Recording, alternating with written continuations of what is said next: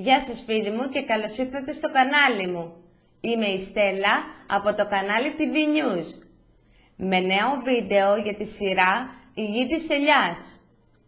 Όπως είδατε και από τον τίτλο, ο Στέφανος βρίζει τη Βασιλική στο τηλέφωνο.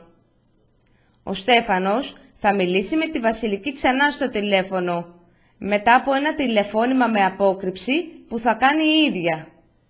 Θα τον ρωτήσει εάν είναι καλά και θα του πει ότι θέλει να μιλήσουν, να μάθει τα νέα του. Φυσικά δεν θα έχει υπολογίσει την οργή του. Ο Στέφανος θα ξεσπάσει πάρα πολύ άσχημα. Θα μιλήσει άσχημα στην αδερφή του. Θα την κατηγορήσει για τα λάθη της και θα της κλείσει το τηλέφωνο στα μούτρα, χωρίς να της δώσει δεύτερη ευκαιρία.